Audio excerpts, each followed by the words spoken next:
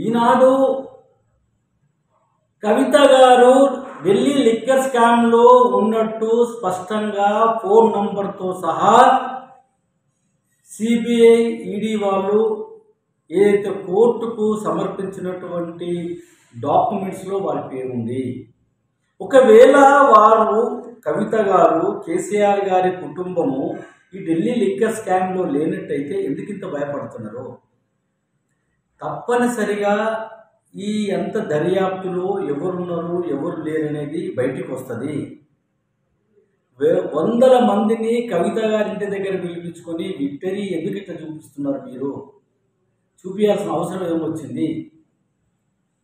చట్టం ఎవరికి చుట్టం కాదు. చట్టం తన పని తను చేసుకుంటూ పోతుంది. చట్టంలో ఉన్నటువంటి ఏదైతే మీరు లిక్కర్ స్కామ్లో ఉన్నారో వంద కోట్ల పైన డబ్బులు మార్పు చెందింది మార్చారు ఇచ్చారు అనేటటువంటిది ఏదైతే ఉందో అది స్పష్టంగా ఈడీ వాళ్ళు ఇచ్చినటువంటి దాంట్లో మీరు మేము లేము అని నిరూపించుకోవాలి.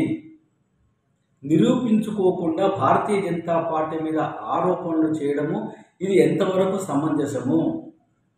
తెలంగాణ ప్రజల యొక్క అభివృద్ధి అని మీరు చెప్తున్నటువంటి దాన్ని అభివృద్ధిని కుంటపడేసి అభివృద్ధి చేయకుండా వేల కోట్ల రూపాయలు ప్రజాధనాన్ని మీరు దోచుకొని ఈనాడు భారతీయ జనతా పార్టీనా మీరు అనడం.